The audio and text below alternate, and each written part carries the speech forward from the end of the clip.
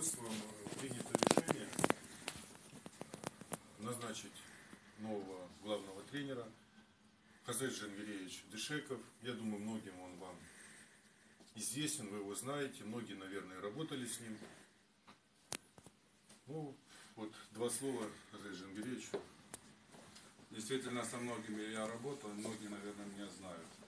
Поэтому коротко скажу, что наша работа будет в первую очередь построена на взаимопонимании и взаимодоверии.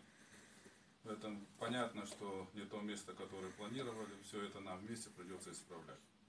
Я думаю, что в течение ближайшего времени, завтра мы переговорим с каждым из вас. Возможно, у вас какие-то есть вопросы, возможно, какие-то предложения. Поэтому я готов вас выслушать, обсудить. И вместе нам придется поработать и выправить ту ситуацию, в которой мы находимся. Прошу вас, давайте беритесь за голову.